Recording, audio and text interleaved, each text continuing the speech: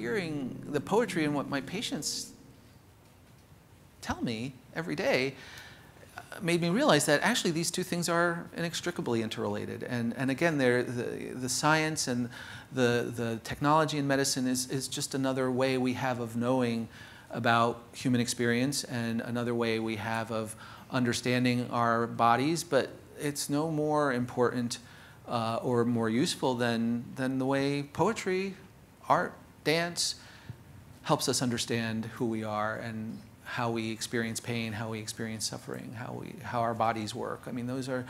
again, to me, parallel ways of, of, of knowing ourselves um, and knowing the human condition